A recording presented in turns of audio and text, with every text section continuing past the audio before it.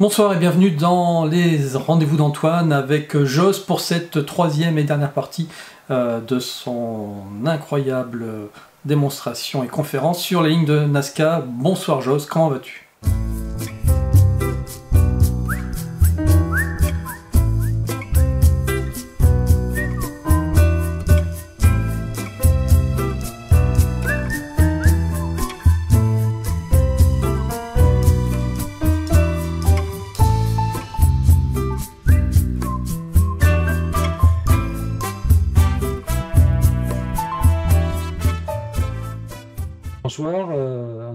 Bien et donc effectivement, on va continuer et conclure avec une troisième partie euh, sur la ligne de Nazca où vous allez voir, je vais vous révéler des choses que vous n'en croirez pas vos yeux. Voilà, donc sortez vos compas, vos équerres, vos crayons.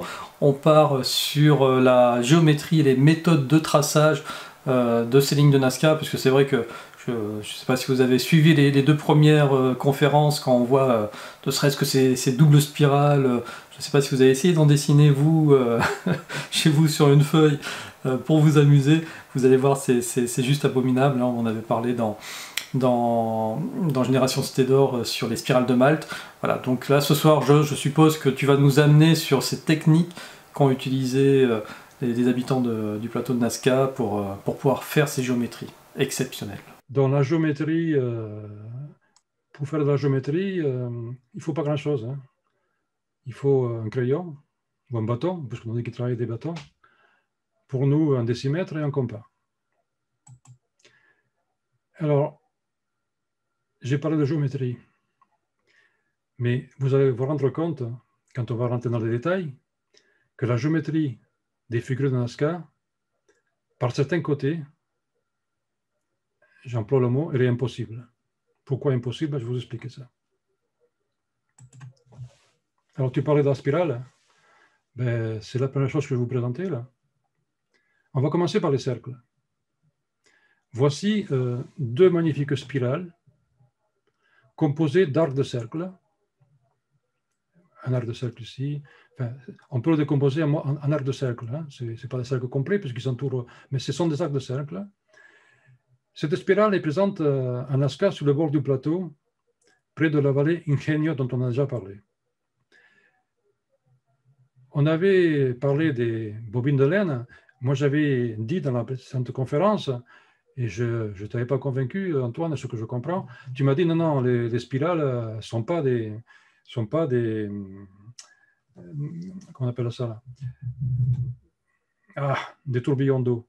Mais ici, on a une spirale qui est en bordure de, bordure de, la, de la vallée, l'eau descend par là. Pour moi, ici, si on doit donner une explication, c'est un tourbillon. Oui, effectivement, j'avais dit que j'étais plus convaincu sur le fait que ça représentait des, bobines de tisserand que des tourbillons d'eau. Mais bon, je, pense que là, tu, vas nous montrer, euh, préciser un peu plus ta pensée.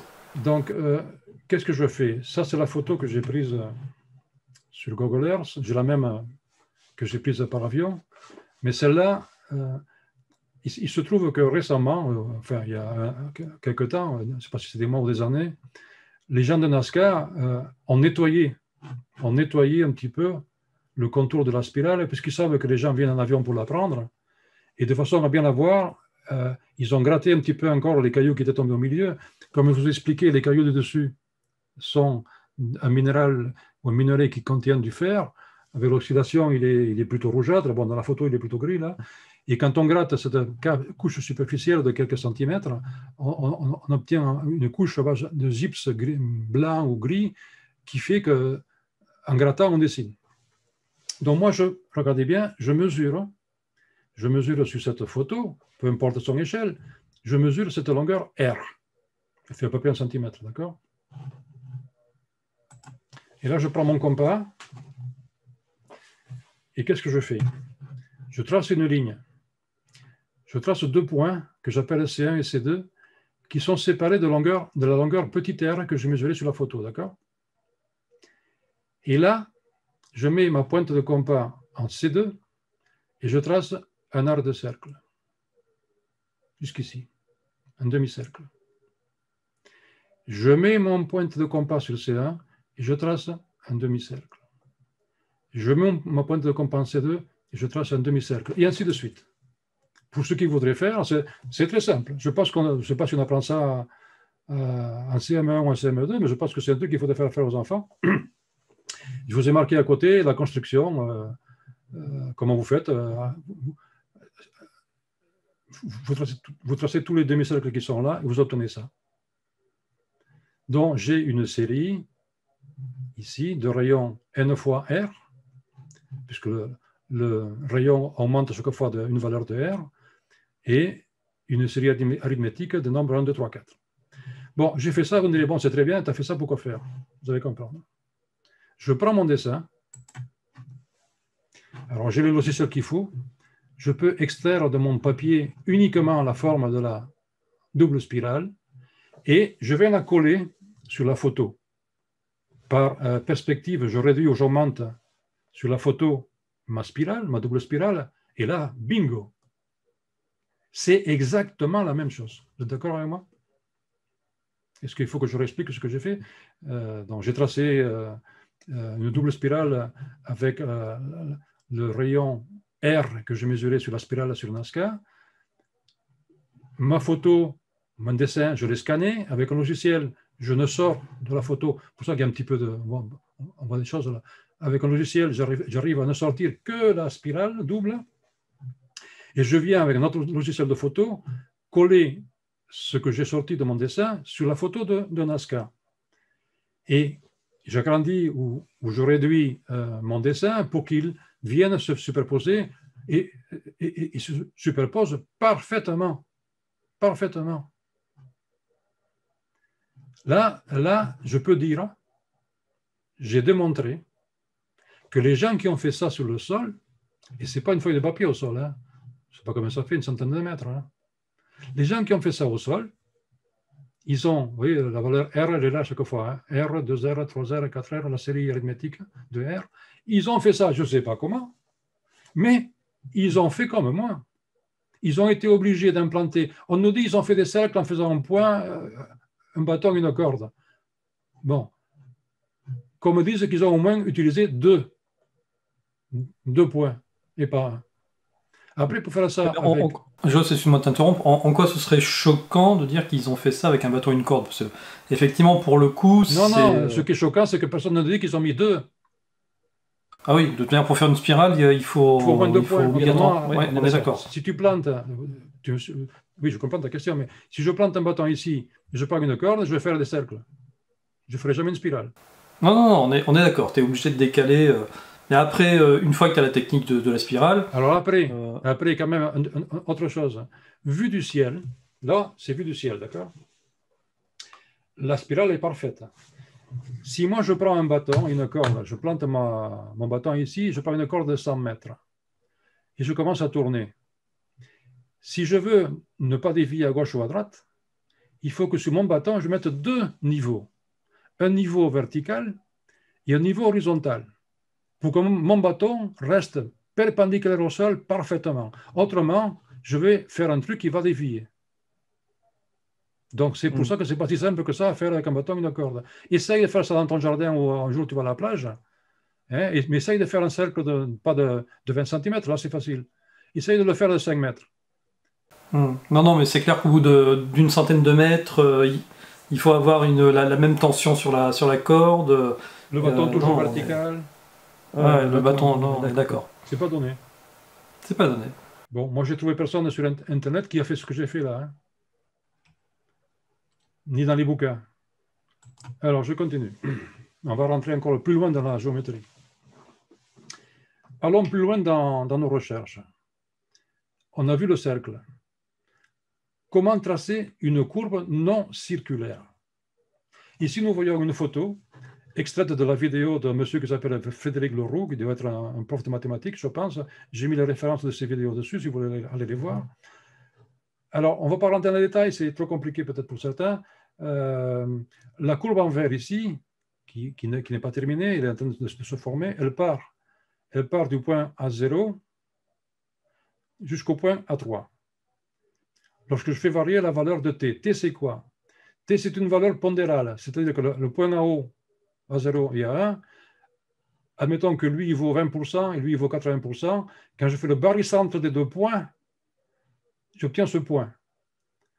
C'est un peu comme si vous mettez un bâton euh, sur euh, une pierre, vous mettez un, poids de, de, 20 kg à, 10 cm, à, côté, il faudra mettre un poids de 2 kg à 1 mètre. Et ça restera en équilibre, c'est ce qu'on appelle un barycentre. Idem pour les, points A1, A2, A2 et A3. Alors, ce qu'on appelle euh, les courbes de Bézier, de nos jours, elles sont utilisées dans, de très nombreuses applications. Les commandes de machines numériques, les programmes de dessin vectoriel, les segments de courbe, Paint de Windows par exemple, les polices TrueType, ce qui est ici là, le morphing, la déformation d'image.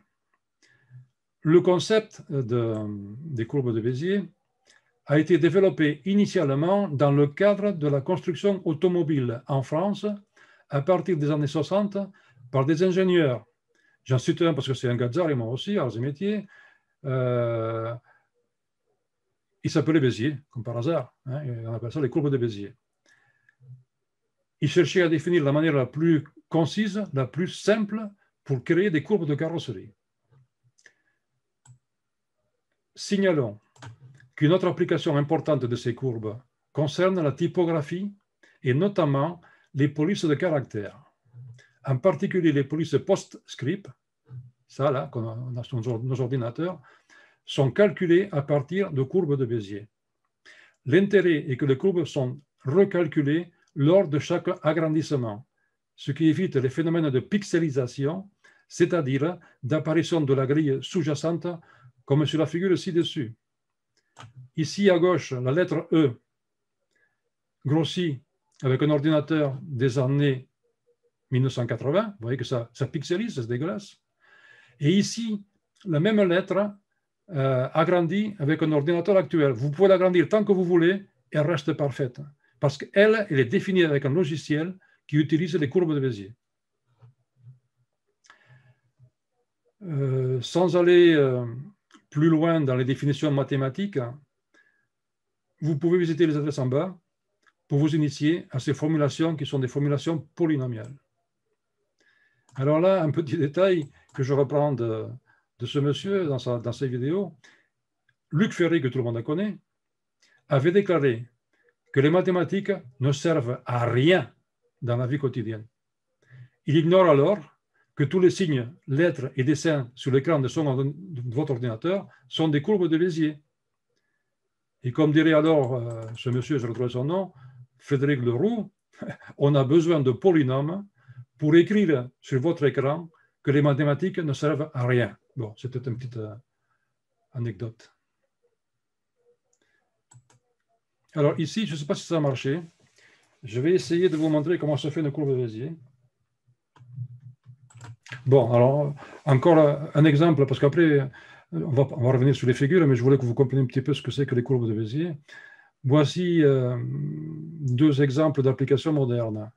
La forme du logo du CNRS, qui est une courbe fermée ici, là, elle a été constituée d'une suite de 11 courbes de Bézier cubiques. Donc, a été, cette courbe ici, elle est, mathématique, ce n'est pas un gars qui a, fait, qui a fait une courbe n'importe comment. Elle est définie, est par l'ordinateur et j'ai mis ici sa reconstitution avec les 33 points de contrôle. Et une fois que ceci est fait, vous avez le logo. Donc, le CNRS a un logo dont la courbe enveloppe est une courbe de Bézier. Euh, de la même façon, euh, on arrive à faire des courbes de Bézier en trois dimensions. Ainsi, le poisson ou baleine, le pêche en catalan, du port olympique de Barcelone en 1992, est le premier exemple au monde de réalisation utilisant CATIA, qui est un, logiciel utilisé par les, euh, les, ingénieurs pour faire des, courbes de Bézier en trois, en trois, dimensions. Maintenant que je vous explique un petit peu ce que c'est que les courbes de Bézier, et ceux qui souhaitent aller plus loin, il faut aller voir parce que c'est trop compliqué à expliquer en une conférence, je reviens sur mes figures. Je vous ai dit que PowerPoint, Paint, euh, des logiciels que vous avez peut-être tous sur vos ordinateurs, quand vous tracez un bout de courbe, ça utilise les courbes de Bézier. Ça, vous ne le savez pas, mais c'est conçu par le, programme. Alors, on va passer à l'acte. Ici, je me mets la photo du chien et je vais essayer de copier. Euh, je me suis mis sur PowerPoint. Hein, je regarde le, chien et puis sans trop chercher à comprendre, euh, vous voyez, je regarde ici, je clique, et je vais cliquer en essayant de suivre le chien. Alors vous me direz, c'est pas parfait. Mais bien sûr que ce n'est pas parfait. Je n'ai pas cherché à faire l'identique. L'important, c'est que ma courbe ici, c'est une figure dont toutes les courbes, sans exception, sont définies par PowerPoint qui utilise les courbes de Bézier. Donc ici, j'ai un chien c'est mon chien à moi, c'est pas celui de Nazca. Mais ce chien à moi ici, je l'ai dessiné avec des courbes de Bézier. Donc, évidemment, c'est pas parfait. Il y en a qui ont fait parfait. Alors, c'est une personne que j'admire beaucoup, Igor Alexif, euh, un grand, euh, parce qu'il est physicien, euh, qui a visité Nazca, qui a découvert tas de choses. Il passe six mois par an ou trois mois par an au Pérou. Là. Il a fait une conférence qui s'appelle Les géoliphes de Nazca. Je vous ai mis, je vous ai mis l'adresse. J'ai retiré quelques images de, sa conférence parce que je ne pouvais pas les, les, inventer. Lui, il a été beaucoup plus loin. Il fait des recherches sur les figures de Nazca qu'il étudie sur place, comme je disais, depuis plusieurs années. C'est un ingénieur russe. Il travaille avec une équipe multidisciplinaires, dont des dessinateurs en CAO et des graphistes. Ils ont pu programmer les coordonnées de la figure sur le logiciel et ensuite appliquer des courbes de Bézier sur les différents segments. L'ordinateur trace alors la figure du chien qui est un ensemble de courbes de Bézier. Et qu'est-ce qu'on obtient? On obtient exactement la même figure. Donc ça, c'est un ordinateur qui l'a fait ils ont repéré les points au GPS, c'est pas comme ils ont fait, hein, euh, sur place ou par, par, euh, euh, Google Earth. Et puis bon, les Russes, ils ont, des, logiciels sur des satellites que nous, on n'a pas. Et ces gens-là travaillent avec des logiciels qui ne sont pas Google Earth, qui sont certainement plus précis.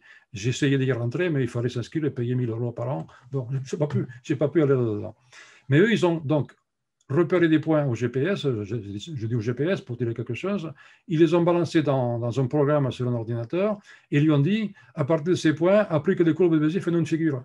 Vous vous rendez compte ce qui sort là? Vous me direz, mais alors, qu'est-ce qu'il y a de particulier? Qu'est-ce qu'il y a de particulier, M. Castellet? Mais l'énigme, c'est que ces figures sont attribuées au peuple Nazca. Un peuple de simples villages séparés sur l'ensemble de la région, ne possédant que des outils primitifs, la corde le bâton, et donc incapable de tracer des courbes de Bézier. Là, il y a une énigme, il y a un super truc là.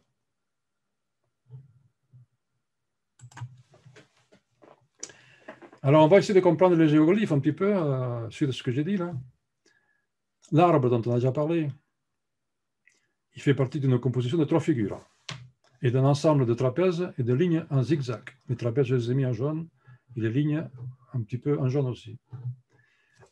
Là, je vais attirer votre attention sur le fait que l'arbre est relié aux trapèzes et aux lignes, et fait plus important, il est tracé d'une seule ligne continue qui nécessite une conception en amont avant de procéder à sa reproduction sur le sol suivez ma, souris, je rentre là, hein, hein, je, suis tout l'arbre, tout, l'arbre, et je ressors. Je ne me suis jamais croisé. Il est impossible de faire ça au sol avec une corde. Et je ne sais pas quoi, un bâton, sans avoir prévu le dessin, on va l'appeler l'arbre, de l'arbre auparavant. Autrement, je vais m'emmêler les pédales et je vais me croiser quelque part. Ça, ce n'est pas dit par les gens qui vous montrent les photos de ça avec l'avion. Moi, je vous dis, ce truc-là, il est géométrique, impossible presque. Ce n'est pas facile de réaliser un dessin de telle dimension, il fait 100 mètres par je sais pas combien, avec une seule ligne et en préservant tous les détails. Mais bon, nous savons que les anciens Paracas et Nazca tissaient leur textile avec un fil continu. Casser le fil, c'était considéré comme sacrilège ou porte malheur. D'où l'explication pourquoi il y a un seul fil continu. Ça, on peut le relier euh, au fait qu'effectivement, euh, pour les anciens, euh, Nazca, casser le fil du tissage portait malheur. Alors, l'iguane, c'est pareil. Il est très difficile de, trouver une photo où l'iguane est complète, puisque de toute façon, l'iguane, la pâte américaine, en a coupé un morceau. Et ce morceau ici, je, l'ai retrouvé par ailleurs, sur des gens qui ont fait des études très précises. Et là, on, voit encore que je rentre ici avec un fil, je suis l'iguane, je suis, je suis, je suis, je suis, je suis, je suis, je suis, je suis ici et je ressors là. De même principe de réalisation qui me fait penser qu'on n'a pas pu dessiner ça au sol sans avoir un plan. Et par ailleurs, le fait que l'entrée et la sortie de l'arbre et de l'iguane soient reliées à des lignes de collecte des eaux, je me dis que la raison parfaite, je ne la connais pas, mais ces figures, il y a deux possibilités. Soit elles étaient là avant, avant qu'on trace les, les systèmes de collecte d'eau, soit après, mais quand on a tracé ça, on a tenu à les relier. Ou alors, plus vraisemblablement, ça a été fait ensemble. Tout ça, parce que l'eau, quand elle arrivait ici, pas pas, elle rentrait par l'eau, elle venait colorer la, elle venait colorer la figure. Vu du ciel, quand il y avait de l'eau, ça, ça brillait au soleil.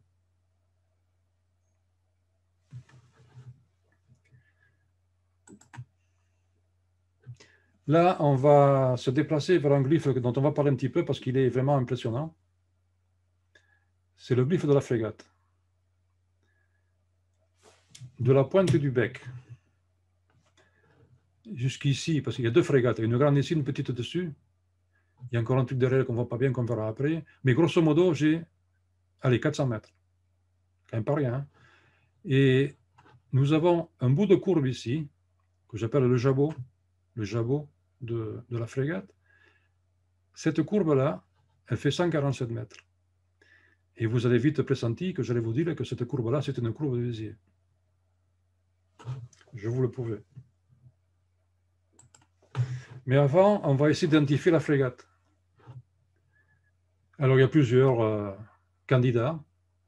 La Ninga d'Amérique, espèce d'oiseau aquatique. La frégate superbe, un oiseau de mer.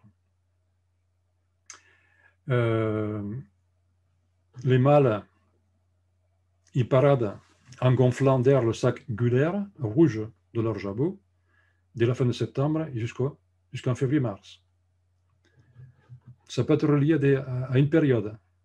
Le fait qu'ils aient mis un jabot ici, peut-être qu'ils voulaient signaler la période de septembre jusqu'à fin février-mars, qui est peut-être la période où il pleut, je ne me souviens plus, et qui est propice à la récolte.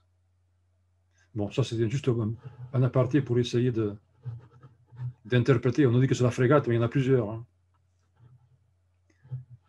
Alors évidemment, la forme du bec ici, on peut la retrouver ici, vous voyez Ce bec crochu, on peut le retrouver là aussi.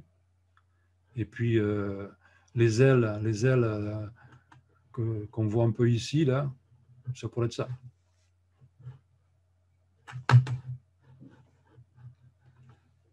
On continue. Alors ici, j'ai coloré le dessin pour mieux voir les détails. Ce glyphe peut être décomposé au moins en cinq parties. En numéro 1, en numéro 1, j'ai la frégate, on va l'appeler ainsi, en rouge avec une partie du jabot que je ne vois pas en entier parce que ça va, ça va très loin en bas. En numéro 2, on va l'appeler la frégate aussi, en bleu. J'ai un élément inconnu ici, que j'appelle 4. Ça, ça, vous rappelle déjà quelque chose, ceux qui ont vu la deuxième conférence? Oui, oui, on, a l'impression de voir un petit peigne. Hein. voilà. Un élément particulier ici, que j'ai mis en noir. Moi je vais, très loin dans mes, recherches, en tout cas dans mes interprétations. Et puis j'ai un dessin, euh, inexpliqué, on va dire inexpliqué pour l'instant. Ça, qu'est-ce que c'est que ce truc-là? Hein, On nous parle de la frégate, mais il n'y a personne qui nous dit qu'est-ce qu'il y a derrière. Ce n'est pas la queue de la frégate. Ça. Ici, je vous l'ai mis euh, dans un autre euh, angle de vue. Alors, évidemment, j'allais y venir. Hein. Euh, concernant le glyphe numéro 4, je le rapproche du glyphe déjà présenté dans une précédente conférence sur le dessin dit du cadre solaire à Sacramento et du glyphe dont je donne les coordonnées près de la vallée d'Ingenio. Je vous l'avais déjà présenté. Ici, vous avez les coordonnées. Si vous voulez aller le voir, tu me demandais où ce qu'il était, là, c'est clair, c'est près de la vallée d'Ingenio. Et en tapant ces coordonnées euh, sur Google Earth en décimale, parce qu'il y a plusieurs façons de, taper les coordonnées, vous allez pouvoir retrouver ma photo. Il est ici, là. Vous voyez, on ne la voit pas très bien, là. La pointe du peigne, on la voit ici, là. Donc, je veux dire que pour moi, cette partie de, la composition de la frégate, il faut la relier au peigne des tisserands. Peut-être que dans ce passé lointain, euh, il y avait un peigne de tisserand, il y avait un, euh, un glyphe de tisserand, et puis il a été effacé par le temps. Ils ont mis à côté le glyphe de la, de la, frégate, et puis il est resté un petit morceau par terre, là, si on peut dire, qui était le peigne. Le numéro 5. Je l'ai mis dans toutes les positions, là, parce qu'il m'intrigue. Dites-moi à quoi cela vous fait penser. Si tant est-il que cela puisse vous faire penser à quelque chose. Pour l'instant, c'est pas dire ce que c'est. Et puis il y a ce petit morceau là que j'ai mis à part, qui est ici là, vous voyez? C'est un détail, important. Ouais. Écoute, moi j'y vois une montre religieuse, mais. Euh, oui, oui, on peut voir, euh, on peut voir des animaux, euh, des insectes. Effectivement, ça fait penser à un insecte, oui, oui. Mais, mais je suis curieux de voir ce, que, ce que toi tu y as vu. Personnellement, j'ai beau, chercher, je n'ai trouvé euh, aucune interprétation de cet ensemble de glyphes sur Internet ou dans les articles ou livres sur les mystères de, le mystère de Nazca. Et Dieu sait que j'en ai regardé des articles écrits par des archéologues euh, latino-américains, espagnols. Il n'y a personne qui, à part dire qu'il y, a, une frégate, il ne sait pas quoi dire. Du coup, du coup, puisque personne ne me dit ce que c'est, je vais me risquer à une interprétation toute personnelle, très personnelle. Alors, qu'est-ce que je vois? Je vois un grand oiseau frégate en rouge. C'est un vaisseau amiral de transport. La carlingue est dessinée en courbe sous la tête. Je vois un petit oiseau frégate. C'est un module de reconnaissance. Il vient se positionner sur la frégate pour rentrer dans la carlingue. L'oiseau de reconnaissance transporte des éléments animaux, je parlais d'insectes, ou plantes, prélevés au sol et attachés, à son crochet de remorquage. Ça, c'est le crochet de remorquage. Regardez le crochet de votre camion, là, de votre voiture, il a la même forme. Oui, je sais.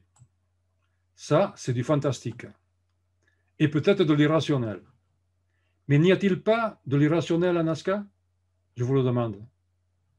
Ont-ils vu quelque chose se déplacer dans le ciel, atterrir et faire des prélèvements?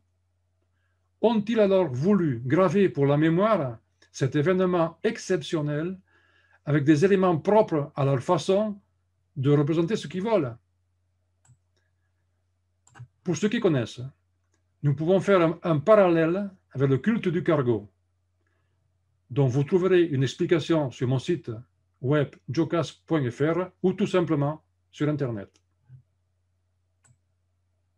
Voilà. Donc, évidemment, je me suis livré à, une explication toute personnelle, mais euh, au moins, j'essaye d'apporter une explication. Pour une fois, c'est dans le sensationnel. C'est comme ça. Alors, je continue avec ce dessin, parce qu'on parlait des courbes de Bézier. Mais ce n'est pas fini avec, l'option euh, avec PowerPoint et l'option insertion de courbe, je mets ce dessin sur PowerPoint et je prends le, crayon de PowerPoint et je suis le dessin. Et PowerPoint ne fait que des courbes de Bézier. Donc, j'ai tracé une courbe de Bézier. J'ai travaillé avec un ordinateur. Cela pose la question.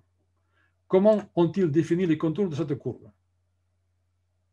Si le gars est parti de là et puis euh, il a reculé avec son bâton, eh ben, ça fait, euh, vous allez voir, cette figure fait 48 000 mètres carrés. Si le gars est parti avec son bâton, quelle est la, quelle est la probabilité pour qu'il ait pu qu'il ait pu tracer une courbe de Bézier Puisque moi, je vous prouve que c'est une courbe de Bézier, je l'ai tracée avec PowerPoint qui utilise les courbes de Bézier. Comment l'ont-ils projeté sur une surface de 48 hectares? Que j'ai dessiné ici J'ai tracé les contours de la figure et mon logiciel me dit que ça fait 48 000 m2. C'est au moins 7 stades de football. Alors, évidemment, on est dans la fantastique, mais qui en Asca, il y a au moins 2000 ans, avait un ordinateur ou un système semblable Je ne dis pas qu'il avait un ordinateur, mais un système semblable de création de courbes de Bézier. On n'a pas fini avec cette frégate. Là, j'ai une photo sur Google. Il est là, la frégate, le bec, mais bon, je la vois. Alors, je vais vous demander de regarder la figure. Déjà, pour que je la fasse rentrer sur une seule photo, je me suis élevé à 484 mètres d'altitude. Maintenant, je regarde la frégate. Regardez vers la tête ici. Notre champ de vision humain, d'être humain, ne peut pas voir l'image en entier. Si je centre mes yeux sur la tête, je ne vois pas le bec. Si je regarde le bec, je ne vois pas la tête. Vous êtes d'accord avec moi?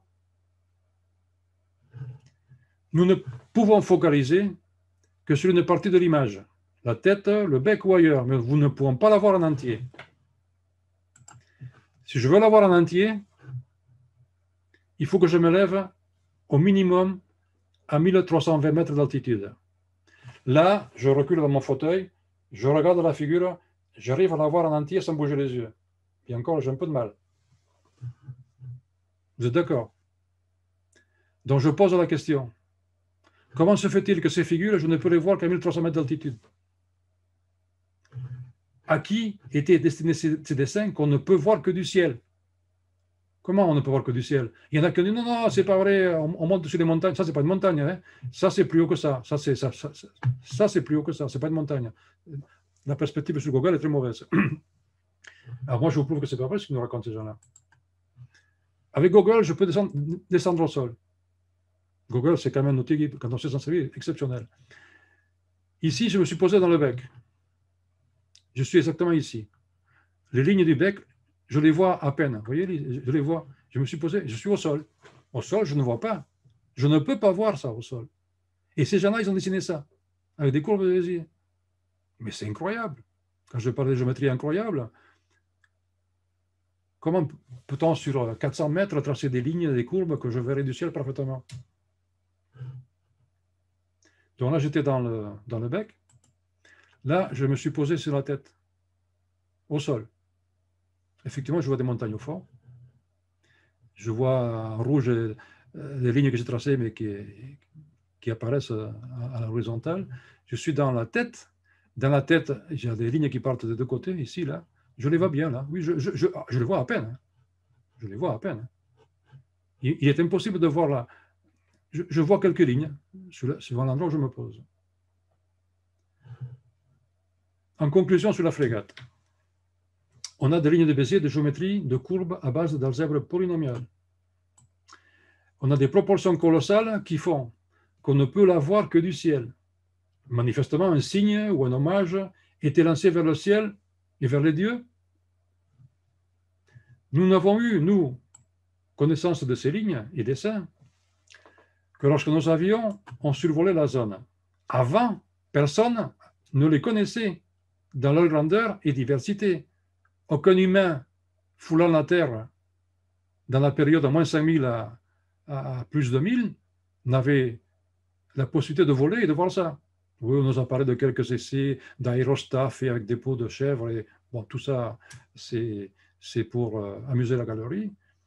À ce jour, l'histoire officielle n'apporte aucune réponse crédible à ce mystère. Et les géoglyphes continuent d'être rattachés à la culture Nazca qui s'est développée ici il y a 2000 ans. Cela ne colle pas avec l'époque. Le peuple Nazca, à qui on attribue ces dessins, et les moyens techniques rudimentaires qu'on leur reconnaît. Alors qui, quand et pourquoi, à vous de vous faire votre idée. Imaginez l'impossible, car la vérité est souvent au-delà de ce que nous pensons possible. Oui, alors oui, quand même une petite question, parce que tout à l'heure, je n'ai pas su déterminer si tu étais mi-figue, mi-raisin euh, sur l'interprétation ufologique de la frégate. Dès qu'on touche ce sujet, on n'est plus crédible. Oui. Euh, alors, j'essaye de faire des conférences qui soient crédibles. Je porte des éléments euh, de réflexion d'un niveau d'ingénieur. Ça, ça, ça, me, ça me glorifiait, mais bon, des fois j'apporte des choses que n'apportaient pas les autres. Et, mais moi, alors, les, pistes de Nazca en tant que terrain d'atterrissage, je dis non. Il y a Daniken qui en parle, il y a euh, Javier Cabrera, le découvreur des pierres de Ica, qui nous a fait tout un grand plat sur les pistes de Nazca et il a relié ça aux pierres de Ica. Je n'y crois pas une seconde, parce que ça ne m'apporte rien que je peux assimiler comme, comme preuve. Euh, mais dans la mesure où tout ce que nous voyons sur Nazca, alors on peut dire que les lignes de, collecte des eaux, même s'ils n'avaient pas voulu qu'on les voit du ciel, dans la mesure où ils étaient capables de faire des lignes droites, ce n'est pas ce qui est le plus compliqué, quoi qu'il y en a qui font 10 km, malgré eux, on les aurait vus du ciel. Donc, a priori, ce n'était pas obligatoire qu'ils aient fait des parallélogrammes et des choses comme ça pour qu'on les voit du ciel. On les aurait quand même vus du ciel si c'était bien fait. Mais les figures, c'est différent. Les figures, c'est différent. Des figures qui font 400 mètres par 100 mètres, 40 000 euh, mètres carrés, je ne sais pas combien d'hectares, euh, et qui sont parfaites, et que, je vous ai montré qu'on ne peut les voir que du ciel, là, ça pose une question. Qui devait voir ces figures? Et, d'ailleurs, le, le, on va dire, euh, l'inspecteur des travaux finis, il y a toujours un inspecteur des travaux finis quand, quand tu fais une, une œuvre monumentale, comment est-ce qu'il a validé finalement que ce qui a été réalisé euh, Les archéologues nous ont dit, euh, ils ont fait des essais, euh, je ne sais pas quelle année, ils ont fait un ballon avec un, tissant des, des, pots ou des tapis ou des pots de moutons ou d'alpaga. ils ont fait une nacelle avec des fibres du lac Titicaca, comme les bateaux du Titicaca, tu sais, les bateaux en, en lune, en arc de lune. Ils ont euh, balancé dedans de l'air chaud. Ils ont réussi à, se monter à une centaine de, mètres. Ils sont partis dans tous les sens et puis ils se sont cassés la gueule. Hum. Donc ils auraient fait des montgolfières avant les, avant les frères montgolfières. voilà, on nous dit, mais on a trouvé. L'inspecteur de, de, truc, il montait. Mais comment il faisait? Alors il fallait qu'il y ait une corde pour l'attacher. Euh, et puis il montait combien de fois pour voir que le dessin était bien fait? Il ne suffit pas de monter à la fin il faut euh, être en permanence en haut. Et puis, comment il téléphonait en bas hey, Arrêtez les gars, vous vous trompez. Comment il faisait Il fallait qu'il descende, qu'il aille voir les gars. Il disait écoutez, depuis là-haut, j'ai vu que c'était pas bon. Mais c'est où que c'était pas bon? Ben, Je ne sais plus, il faut que je remonte. Non, mais. Euh, tout, est, tout, toute hypothèse est bonne, mais après, il faut qu'on me l'explique, qu'on me la détaille, qu'on me la précise, qu'on me, la décortique. Et moi, le coup du ballon, ça ne marche pas. Donc, quelle autre explication? Alors, euh, après, ça va venir. Je vous donne la mienne après. Mais bon, là, on change un peu. Donc, puisque. Alors, oui, alors, ta question, c'est m'amène à quelles sont les hypothèses? Alors, d'abord, je vous ai parlé, je me répète, que ces dessins sont faits à une seule ligne continue. J'en ai pris un autre ici, là. Vous voyez bien qu'il y a une entrée une sortie. Déjà, première difficulté de faire un dessin comme ça, avec une seule ligne, que jamais se touche ou se croise avec quoi que ce soit. C'est une constante sur beaucoup de figures. Le trait est précis et le dessin est formé d'une seule ligne. Donc, ça veut dire que l'ensemble a forcément été conçu et imaginé avant de le retranscrire au sol. Ça, c'est imparable. Un mec qui fait pas ça au sol, sur 400 mètres, s'il n'a pas prévu son dessin avant. Mais on ne le voit encore une fois que d'une certaine hauteur. Celui-là, il fait 50 mètres sur 34, mesuré sur Google on nous dit, on nous laisse entendre, qu'ils ont dessiné directement au sol, en grattant la terre, en écartant des cailloux et en utilisant des bâtons et des cordes pour le cercle. Je me répète, mais il faut le faire. Par contre, on ne nous précise pas comment ils ont fait les courbes. Et là, il n'y a aucun cercle. Il y a des traits, mais des traits droits, il n'y en a presque aucun. Je, dirais qu'ici, il n'y a que des courbes. Alors, je vais me faire euh, gronder si je dis que ceux qui, même dans le milieu académique, se contentent de dire que cela a été fait ainsi et que le problème est réglé, n'ont rien de scientifique.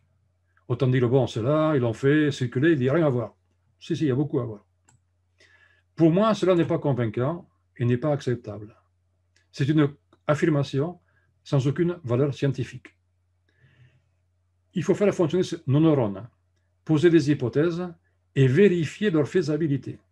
C'est ce que nous allons faire si vous voulez bien prêter attention et me suivre dans ma démonstration. Donc, nous sommes chez les Nazca et ça a été fait avec des, des bâtons et des cordes. Première hypothèse. Donc, c'est le peuple Nazca qui a fait ça. Peuple aux techniques plus que rudimentaires, exception faite du tissage. Peuple guerrier, s'attendant à la collection de têtes coupées. Hein. C'est un peu étrange qu'ils aient pu faire de telles choses alors que c'était un peu barbare. N'empêche, supposons qu'ils l'ont fait. Donc, il faut d'abord concevoir le dessin pour le retranscrire sur un support, mais il n'avait aucun moyen d'écriture ou dessin sur papier ou papyrus ou écorce de bois. Ah si, ils avaient des experts en tissage. Donc, supposons qu'ils ont tissé le modèle de base sur une toile de 5 mètres sur 3 mètres 40. J'ai réduit à l'échelle 1 dixième. Parce que faire le dessin ou une toile sur 50 mètres, c'est impossible. Donc déjà, faire une toile de 5 mètres sur 3 euh, mètres 40, c'est pas rien. Alors, on a parlé de fil de trame et de fil de chaîne. La toile a été divisée en fils de chaîne de couleur tous les 14,7 cm. Admettons que ça, ce sont les fils de, chaîne verticalement.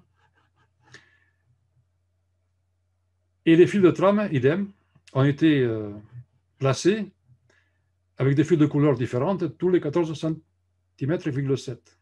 Voilà un petit carré. La somme de ces carrés reconstitue ma toile.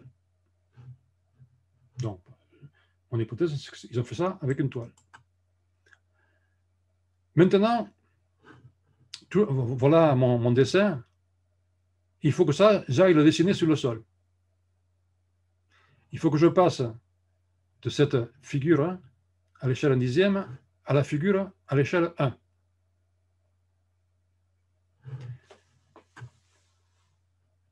Alors, avec des centaines de bâtons alignés pour euh, représenter des droites, il nous faut tracer au sol un carré de 50 mètres sur 34 mètres.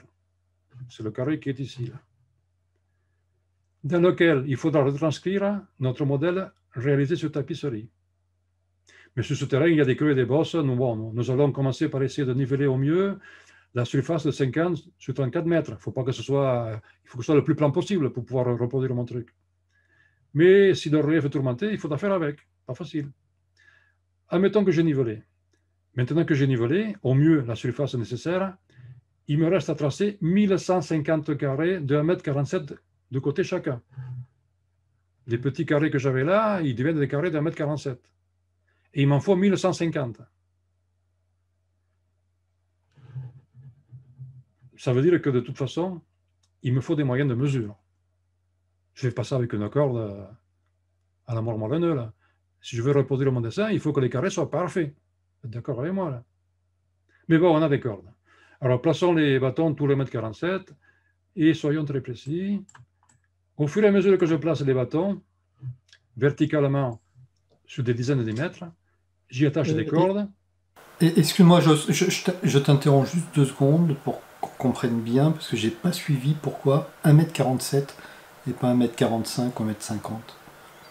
Parce que euh, j'ai pris euh, la, mon dessin qui faisait 5 mètres, par exemple, et j'aurais pu le diviser en plus petit ou en plus grand.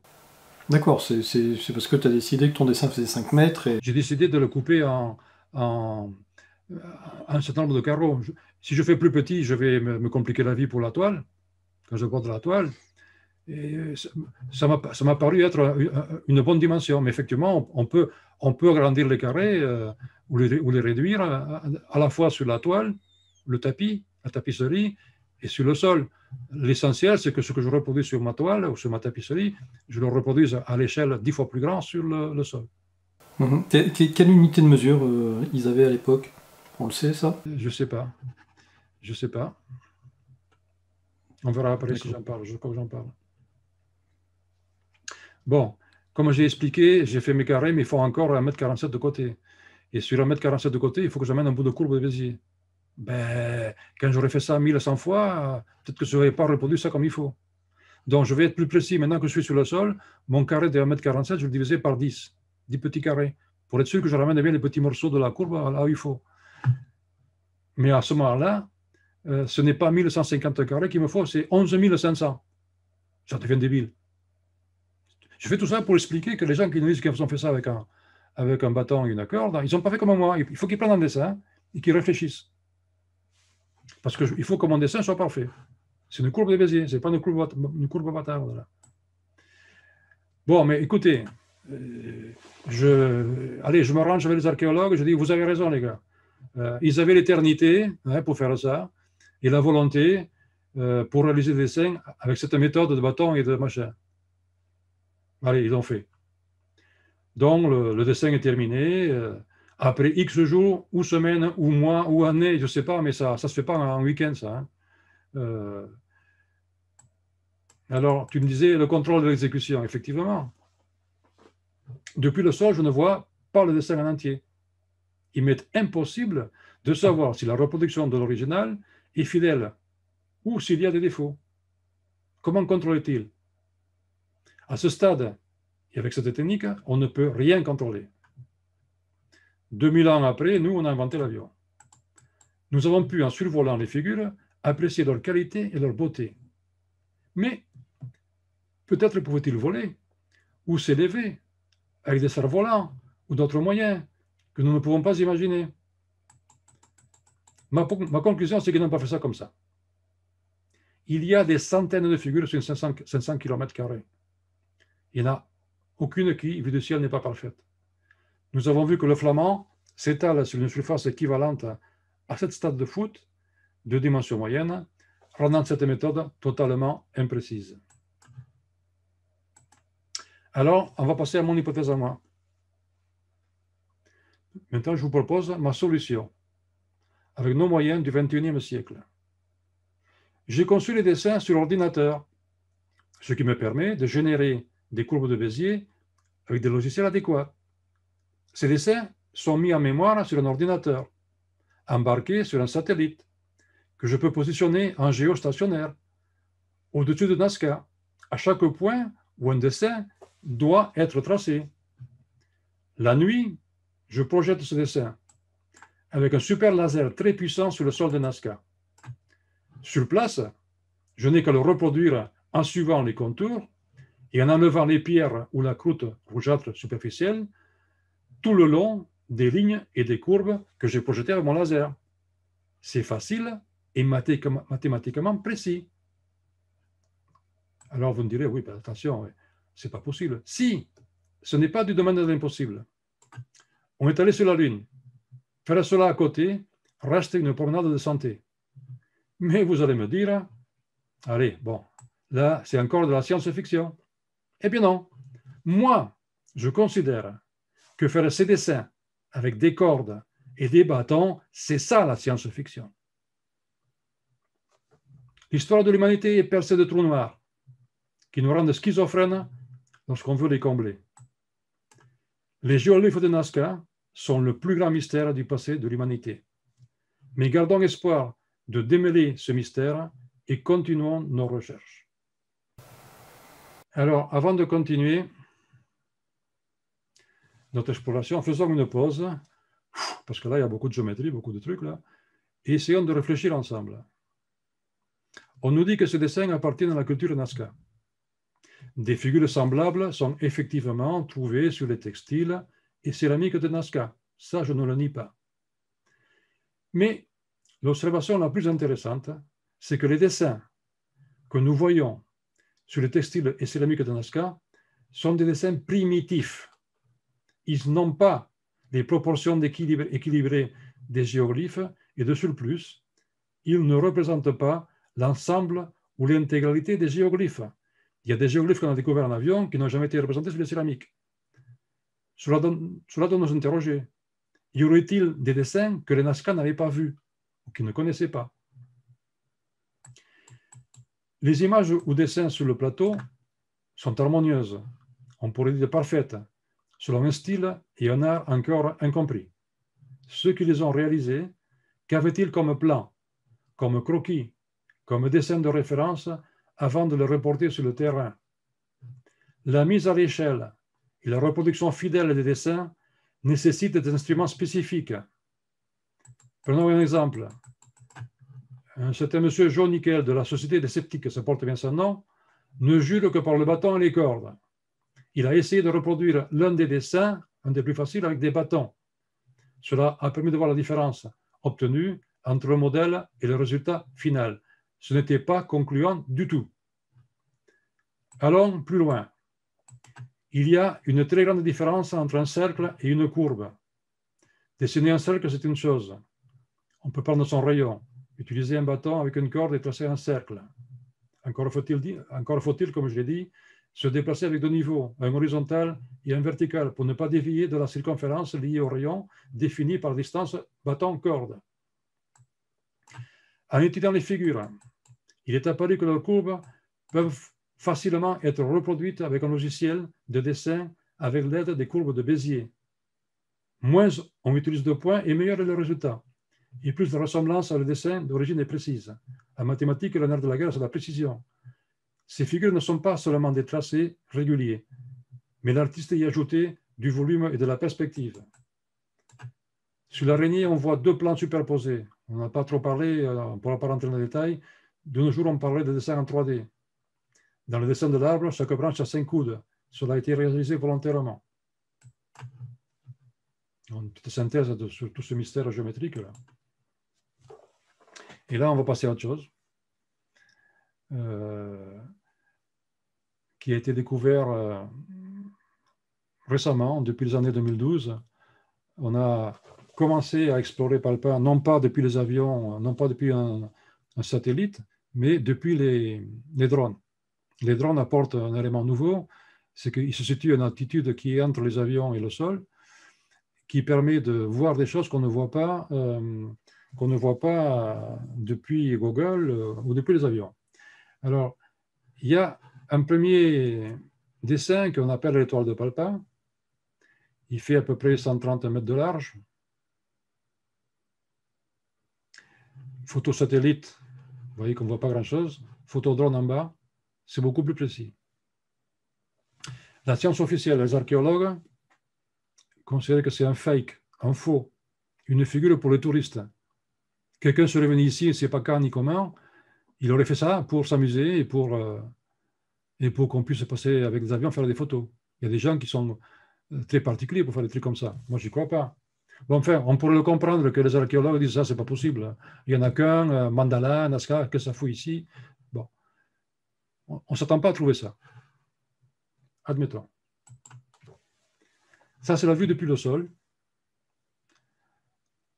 Vous pouvez voir la vidéo de ce russe qui est allé, lui, à pied avec son drone. Voilà, depuis le sol, on voit quand même qu'il y a des lignes assez particulières avec des points. Si quelqu'un fait ça tout seul euh, pour s'amuser, c'est quand même un sacré expert, hein, un sacré géomètre. On ne peut pas voir le dessin complet. Euh, on voit quelques lignes, des alignements et des pierres. Le même dessin, qui est la reproduction de Igor Alexiev, à qui on doit une étude assez complète sur ce mandala. Car il y en a d'autres. Et c'est là que le fake n'est plus de mise. Vous voyez que c'est quand même sacré ça. Alors moi, j'ai, j'ai décidé d'étudier ça sous l'aspect solsticiel.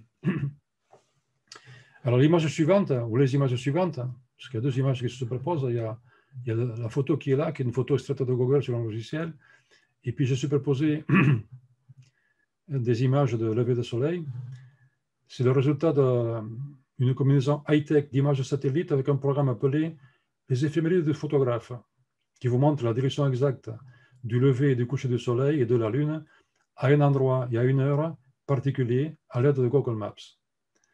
Donc moi j'ai acheté le logiciel, je me suis positionné sur le, sur le mandala, j'ai demandé les directions du soleil euh, au lever du soleil le 21, le 21 juin et euh, la direction du soleil au coucher du 21 juin. Je les ai superposés sur la figure du mandala. J'ai fait pareil pour euh, le solstice du 21 décembre, au Pérou, bien sûr. Ce n'est pas la même date que chez nous. Euh, ou c'est inversé. Quand nous, on est en hiver, c'est en été. Et là, j'essaye de vous montrer euh, de plus près. J'ai représenté le mandala sur la photo de Google et j'ai superposé les directions solsticielles. Malgré mon montage par empilage successif, qui manque sûrement un petit peu de précision, il me semble voir des alignements entre les coins du mandala et les solstices. Le ici, je devrais être là à peu près. Là, je suis bien ici. Là, je suis bien là. Et là, je devrais être là. Donc, en sachant que mon dessin, mon étude manque un peu de précision, que ce, truc a été fait peut-être il y a 2000 ans, que les terrains ont bougé euh, comme bouge l'écorce terrestre, euh, je pense que c'est assez, assez probant. Euh, cela correspond très bien aux lignes de lever du soleil le 21 décembre et au coucher du soleil le 21 juin. Gardons en mémoire pour la suite cette première découverte. Comme je dit précédemment, il y a d'autres mandalas sur le désert de Nazca. En voici un deuxième qui est à 9 km du premier. Celui-là, on nous a dit, c'est fait pour les touristes, il n'y en a, qu'un, mais vous allez voir, il y en a un autre. Alors, grâce à Igor euh, Alexif, qui est allé le photographier avec son drone, je peux vous le montrer tel qu'il est, parce que sur Google, on voit que dalle. Il se développe sur euh, ce bout de plateau et il se termine euh, en bas et en bas. Vous voyez ici un bout de dessin, il est en haut, il est en bas. Ici, ici on voit un, bout de ligne. C'est quand même pas évident de faire un truc comme ça. On dirait qu'il est en trois dimensions parce qu'il est sur plusieurs surfaces, à des niveaux différents. Le dessin est complexe. Voici sa retranscription faite par Igor Alexif. Alors moi, j'ai pris son dessin et j'ai voulu vérifier encore mes solstices je refais le même travail et j'essaye de dessiner sur le mandala les levées et couchers du soleil au solstice. Regardez les points A, B, C. Cela correspond parfaitement A, B, C. Ça, cette ligne, je l'ai vérifiée sur mon logiciel, c'est la ligne exacte du lever du soleil le 21 décembre. C'est quand même pas le hasard, ça. Alors je, dis que nous avons découvert à quoi pouvaient servir ces figures. Il doit y avoir d'autres alignements, puisqu'il y a beaucoup de, points. Mais je dois encore chercher, et cela passera par un logiciel d'astronomie. Ce sera pour plus tard. J'ai un autre moyen de vérifier euh, les solstices. Je dois mesurer l'angle entre ces deux rayons. Sur Google, Google a une certaine précision, j'obtiens 46 degrés 0,5 avec une incertitude de plus ou moins un degré. 46,05. L'angle théorique que j'ai calculé précédemment avec mon logiciel fait 48,56. Je vous passe les calculs, mais faites-moi confiance. Ma théorie et mes calculs montrent un écart de 2,51, soit une erreur de 5%, mais aussi une vérité de 95%. J'ai donc euh, deux moyens de vérifier euh, ces alignements solsticiels. Êtes-vous convaincu À vous de décider si ces mandalas étaient des sortes de gnomons ou cadrans solaires destinés à prévoir des époques importantes pour l'agriculture? On peut chercher d'autres alignements avec la Lune ou des étoiles, mais ce travail reste à faire.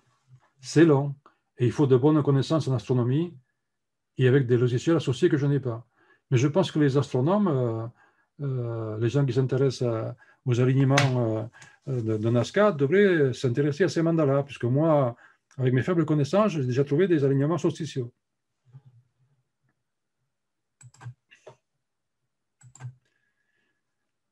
Ici, voilà ce que j'appelle le mandala numéro 4, ici, là. Il y en a un ici, il y en a un là. Donc ça, c'est moi qui les ai trouvés.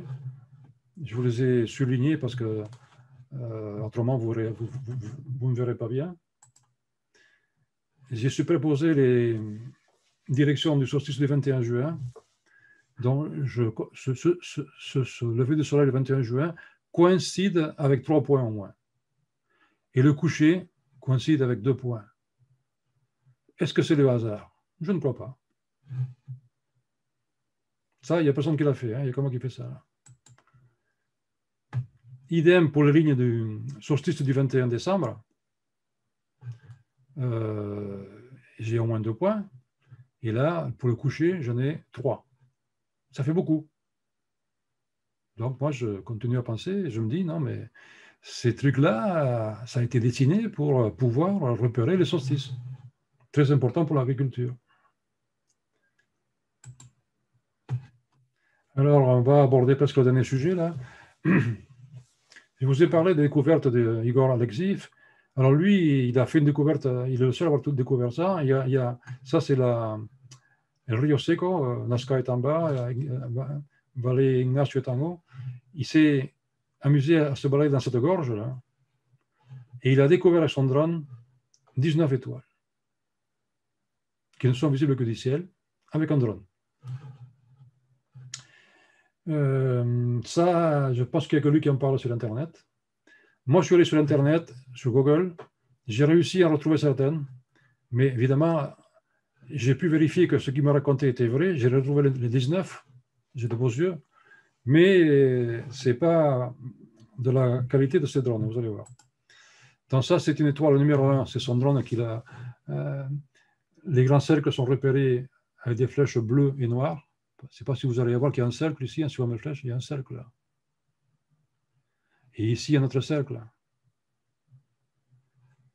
Et puis, vous voyez, il y, a des, petits cercles là, en rouge. Ça, il n'y a que lui qui a trouvé ça. C'est tout nouveau, c'est tout nouveau cas. C'est pas connu ça. Donc ça, c'est une étoile qui est au milieu de la gorge parce que non seulement il y a des cercles, mais ici, il y a des, il y a, il y a un peu ces mandalas avec des, points qui s'alignent ici. on va, appeler ça, on va pas appeler mandala, on va appeler étoile. Ça, c'est l'étoile numéro 1. Étoile numéro 1 qui était, euh, qui était ici. On est là actuellement. Donc, on ne va pas toutes les faire parce que ce serait long, on va en voir quelques-unes. Donc là, l'étoile numéro 1, je, je l'ai repositionné euh, avec un dessin euh, sur Google Earth. Les petits cercles dont je vous parlais, ils sont là. Et les deux cercles dont je vous parlais sont là.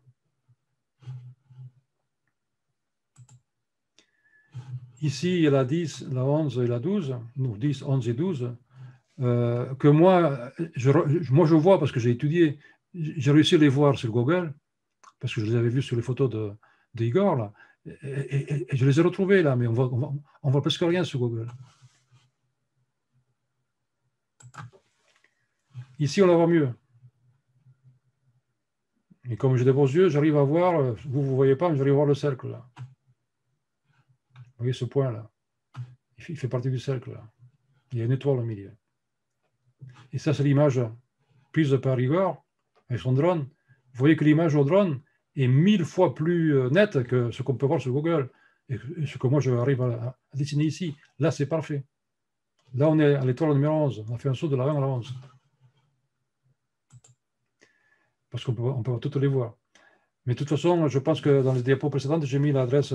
Non, si vous allez voir l'adresse euh, YouTube où j'ai mis la, vidéo de, d'Igor et tout ça, c'est expliqué dans les détails. Alors après, il y a autre chose. Ça, je l'ai découvert tout seul. En me baladant pendant des, des jours et des nuits sur le Nazca, j'ai découvert qu'il y avait ici, vous allez voir, ici il y a des cercles, j'appelle ça C1. Ici il y a des cercles, j'appelle ça C2. Et là il y a des cercles. Et qu'est-ce qu'ils ont d'intérêt, ces cercles? D'abord, c'est qu'ils sont alignés. Je vais dans le cercle C1. Je, ça, c'est pris sur Google par moi. J'ai un premier cercle ici. qui fait 28 mètres de diamètre. J'ai un deuxième cercle ici qui fait 56 mètres de diamètre. J'en ai un troisième ici qui fait 112. Là. 2 fois 28, 56. 2 fois 56, 112. C'est le hasard. Qu'est-ce qu'ils ont voulu faire? En plus, ils ont tracé ça sur une zone qui est, qui, est bosselée. Ce n'est pas facile de faire un cercle au bout du ciel sur une zone, une bosselée. Bon, avec de bons yeux, on arrive à trouver ce que j'ai, ce que j'ai dit. Euh, et ce qui, est ce qui est plus surprenant, tout à l'heure tu m'as parlé avec quoi il mesurait. Ce qui est plus surprenant, c'est qu'on a des diamètres en mètres. Je n'ai pas inventé, vous pouvez aller sur Google, vous, mesurez, vous trouvez ça. Hein. C'est surprenant qu'on ait des diamètres en mètres si on considère que cela a été réalisé il y a au moins 2000 ans. Notez aussi, ce que j'ai dit, que si 26 et 1, on a des diamètres de valeur 1, 2, 4. 1, 2, 4. C'est-à-dire les trois premiers chiffres de la série des puissances de 2. 2 puissance 0, c'est 1. 2 puissance 1, c'est 2. 2 puissance 2, c'est 4. Et ainsi de suite, 8, 16, 32, 34, 64.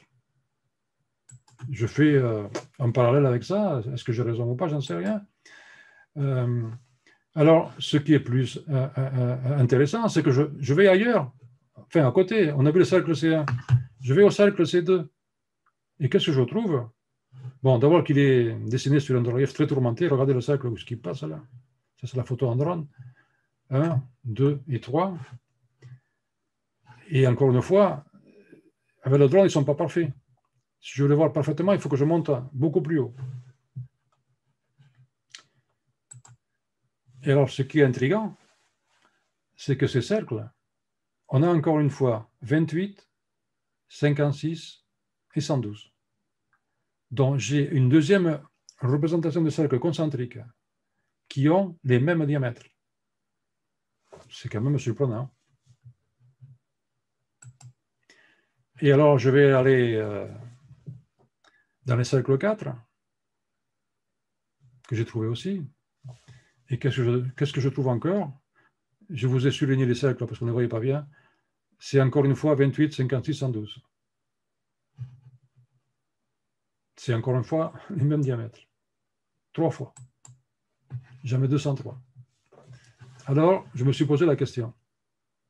Pourquoi ont-ils dessiné des cercles aux mêmes dimensions? Ce n'est évidemment pas le hasard.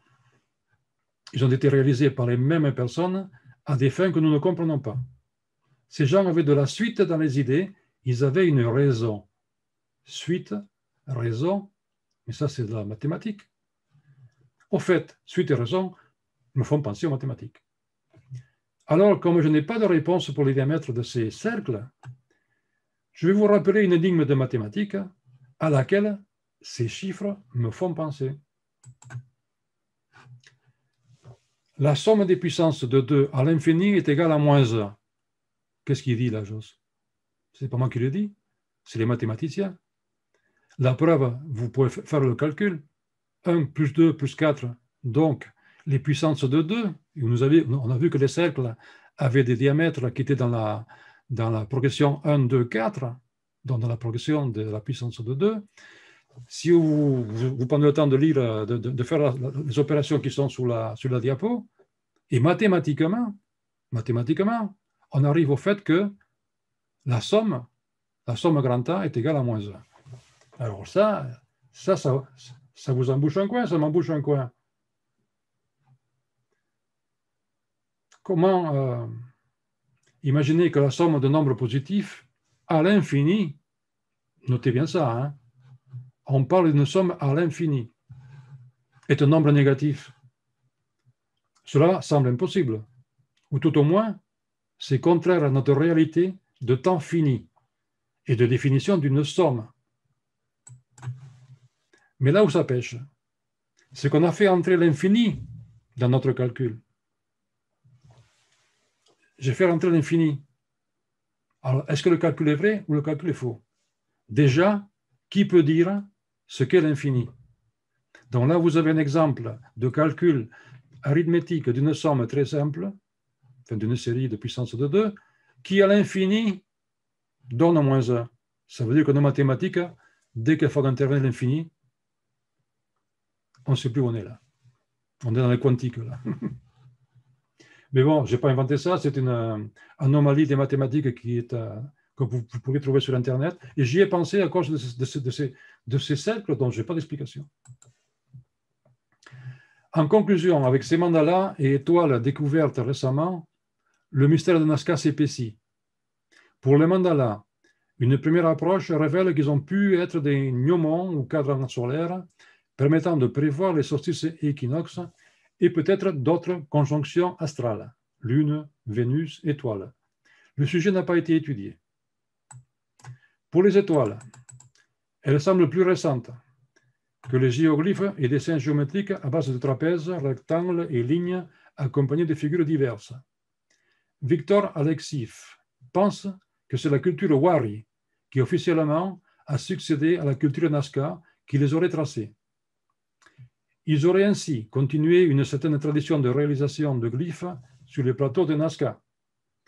On peut alors faire l'hypothèse qu'il s'agit des ancêtres des Tokapus, ces fameux motifs géométriques pré-inca, peut-être d'origine wari. Certains pensent qu'il s'agit d'une écriture géométrique pré-inca ou de blasons identifiant des familles ou des clans. Tous ces petits dessins qu'on retrouve dans les céramiques et les tissus euh, font penser un petit peu à ces étoiles de Nazca. Découverte il n'y a pas longtemps, il n'y a pas trop de, il n'y a, aucune publication à mon avis. Je vous ai mis quelques exemples de tokapus, de tissus wari, cas où effectivement on pourrait imaginer euh, qu'il y a des étoiles. Alors on a presque fini, mais avant de partir, je voudrais quand même vous montrer quelques exemples de géoglyphes vraiment mystérieux, qui ne sont pas forcément sur le plateau de Nazca, mais à côté, en bas. Euh, ici, un exemple, je ne sais pas ce que vous dire ce que c'est, hein, mais c'est vraiment vraiment pas euh, ce qu'on a déjà vu. J'ai eu beaucoup de mal à forcer la photo pour qu'on voie, mais à, côté, à côté, il y a autre chose. Il y a plein de choses là. Mais ça, c'est très ancien. ici, euh, encore un géoglyphe très mystérieux. J'ai eu de mal à, le faire ressortir parce qu'on ne voit que dalle sur Google. Et puis, en travaillant un peu la photo, j'ai fait ressortir quelque chose. Il y a des yeux, on peut voir des yeux là, une bouche au dessin. Mais moi, j'y vois autre chose. Je vois cette forme ici, là, que j'ai déjà, cette forme ici que j'ai déjà identifiée dans mes conférences sur le Paracas et sur, sur le Nazca, euh, et que je identifie au diadème des Paracas, vous voyez les deux yeux ici, puis voilà, les ailes et le chapeau, c'est ça. Hein. et j'avais dit, bon, ça, ça me fait penser encore une fois à, un engin volant. Ce n'est pas forcément ce que je dis, mais euh, ça me fait penser à ça, hein, au diadème des Paracas. Et puis pour finir la dernière diapo, on arrive à la fin de ma conférence. Il reste beaucoup à dire sur Nazca et Palpa. Mes recherches vont continuer. Mais avant de terminer, je voulais vous présenter une dernière image surprenante d'une taille de 50 mètres. Image très détaillée, supérieure par sa définition et ses proportions aux dessins similaires sur le textile ou céramique de Nazca. Elle est située au milieu du plateau de Nazca, au milieu, loin de tout. Cette image est unique et seulement visible dans sa complexité du ciel.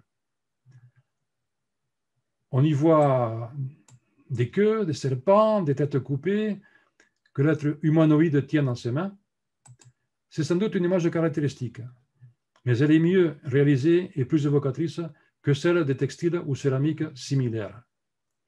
Vu sa grande taille, et si elle était réalisée à la main, on devrait avoir des défauts. Ce n'est pas le cas, alors qu'on en trouve sur les dessins des plus petites surfaces, des textiles et céramiques.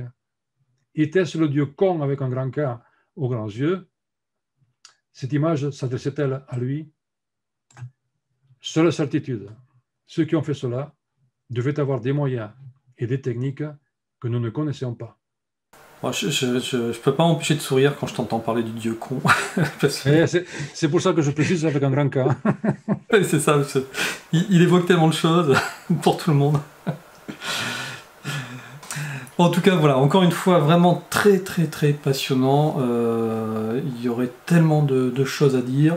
C'est vrai que ce qui est très surprenant, c'est que au, final, on, essaie toujours d'expliquer euh, euh, toutes ces constructions, que ce soit des constructions mégalithiques, ces constructions de, tracés, etc., avec les moyens du bord à l'époque, mais on s'aperçoit bien que finalement les moyens du bord à l'époque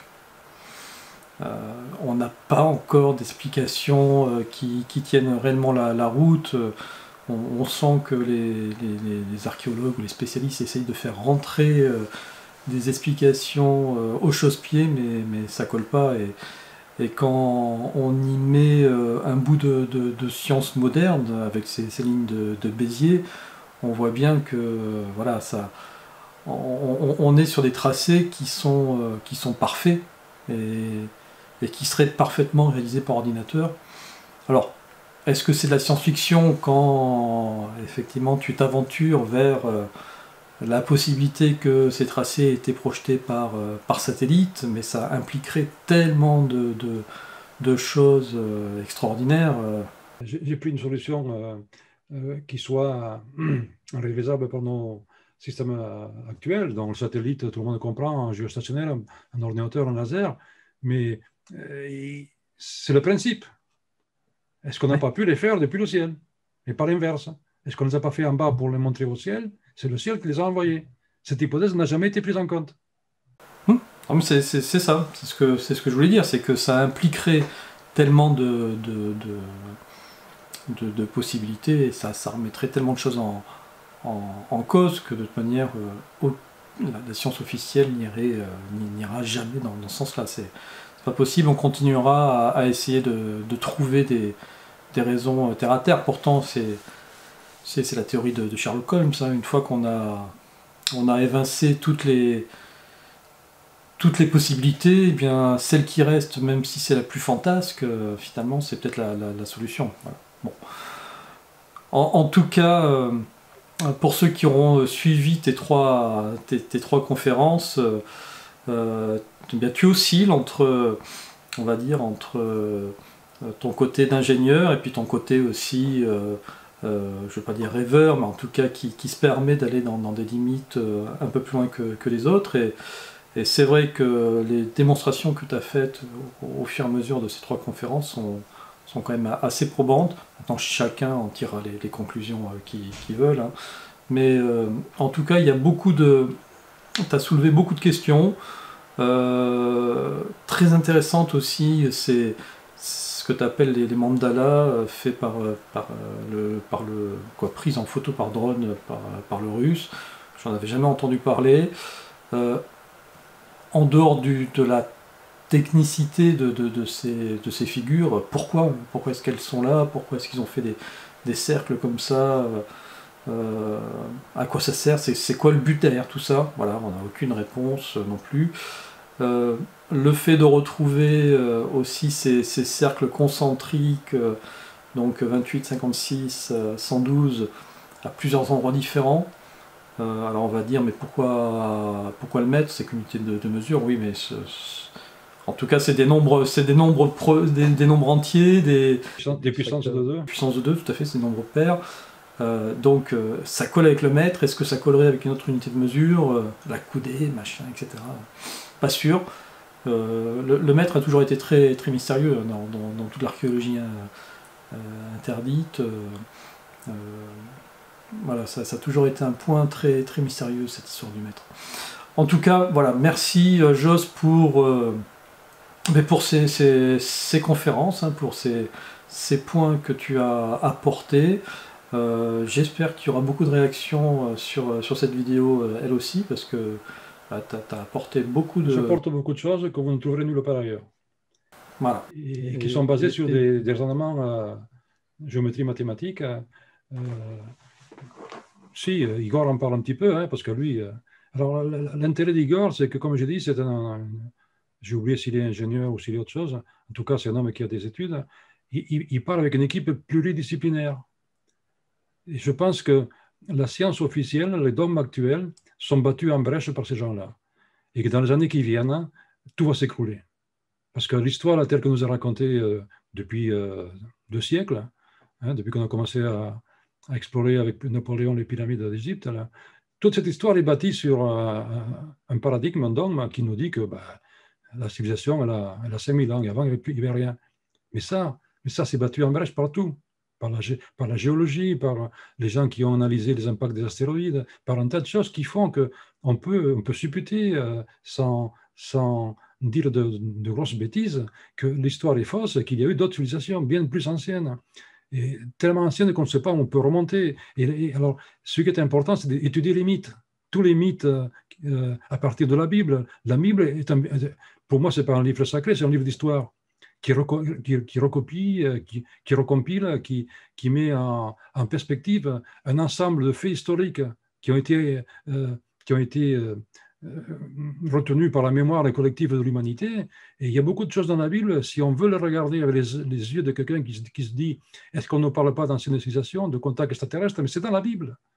Et tout ça, évidemment, ça ne plaira pas à certaines personnes que je dise ça, mais ça m'est égal, moi. Moi, j'ai aucun problème avec Dieu, j'ai aucun problème avec la religion, mais je, dis que dans la Bible, il y a des choses qui sont. Ah, ah, le char de Zacharie, euh, Ézéchiel, Moïse, les tables de Moïse, le, chardon ardent, tout ça, ça nous, ramène à des, contacts, à des visions, à des choses. Et donc, sans parler d'extraterrestres, euh, il suffit de lire les, les, livres de Graham Hancock, pour ceux qui connaissent. Je me suis fait un travail extraordinaire qui nous prouve alors lui, il est contre les extraterrestres des contacts, mais par contre, il nous décrit à, 100% l'existence d'une ancienne civilisation, sans vouloir la rattacher ni à l'Atlantide, ni à nous, euh, ou à d'autres continents. Mais les, anciens mythes nous parlent de tout ça. Et dans les anciens mythes, il y a une part d'histoire. Oui, tout à fait. Et euh, mais que ce soit effectivement la, Bible, mais tu prends ne serait-ce que les, les, mythologies euh, gréco-romaines, les mythologies scandinaves, les mythologies euh, sud-américaines. Voilà. Euh, on, peut faire des, des, interprétations soit ufologiques, soit effectivement d'une civilisation ancienne, ce qui ne fait que au final que reporter de, quelques dizaines de milliers d'années la, même question. En tout cas, le sujet est et sans fin. Aujourd'hui, on ne trouvera pas de, réponse à tout ça, mais sur ces trois, sur ces trois, ces trois émissions, je trouve que tu as abordé pas mal de, nouveaux points. J'espère que ça vous a plu, qu'on puisse euh, voir ces, lignes de Nazca euh, de façon euh, différente. En tout cas, moi, je, il me reste ces lignes de Nazca, je les ai découvertes il y a très longtemps, dans les années 80 grâce à Esteban Taozia, voilà, et ça nous ramène encore une fois aux mystérieuses cités d'or qui ont ouvert la voie à pas mal de, chercheurs. Et euh, ben la, transition est toute faite pour conclure euh, et dire qu'on on te retrouve régulièrement dans le magazine Génération Cité d'Or que vous pouvez retrouver sur le site générationcitédor.com. Et, et, voilà, on, découvre tes articles et tes recherches que ce soit sur l'Amérique du Sud, sur, sur Malte, et puis sur, sur tous les sites que ton œil d'ingénieur... Euh, il nous restera à explorer le Mexique, il y, a, beaucoup à dire sur le Mexique aussi. Ouais, tout à fait. Et puis tu m'as parlé aussi de, de, de, Malbec, hein, c'est ça. On rentre dans les calculs des mégalithes, le transport des mégalithes, mm, sujet qui m'intéresse beaucoup. On, aura l'occasion de reparler de tout ça. En tout cas, Joss, merci d'être venu euh, sur, euh, sur Miasme TV. Euh, ben écoute, on, aura le plaisir de te, retrouver cette année sur d'autres sujets.